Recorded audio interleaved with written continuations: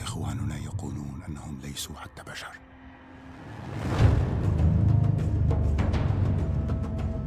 يتنفسون الماء ويغيرون شكلهم. يستطيعون الرؤية في الظلام ويراقبون دائما. كما لو أنهم ظلالا بدون أي شيء ليوقفهم.